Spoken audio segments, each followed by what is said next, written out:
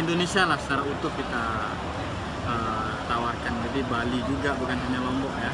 Tapi main produk kita Lombok, kita tawarkan Bali, Bromo, Komodo itu kita tawarkan juga. Jadi Kalau yang Lombok sendiri Pak, yang adventure Lombok yang itu apa adventure saja? ya? kita ada uh, Rinjani trekking, snorkeling, water activity-nya, kemudian sightseeing pasti, culture, culture sightseeing, kita ada rafting yang kita tawarkan, kemudian biking, itu juga yang kita tawarkan uh, full activity lah, jadi dari leisure ke adventure itu yang kita tawarkan untuk Lombok.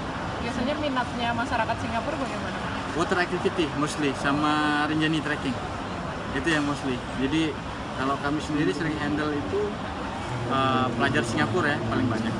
Jadi yang SMA sampai dengan yang apa, mahasiswa mahasiswanya sering kemudian komunitas-komunitas apa uh, outdoors itu juga kita ini sering handle untuk Singapura. Jadi mereka mostly travelingnya itu grup kalau yang untuk Rinjaninya mostly seperti itu. Mereka milenial ya Pak ya, dan biasanya mencari milenial karena kebetulan kami itu jualan apa eh, online. Online. online. Kita B2C itu dari 20 2006 sudah B2C via website sekarang kita mau develop ke app Pak, jadi eh, wisatawan di Singapura sangat tertarik dengan eh, adventure Lombok Tour ya?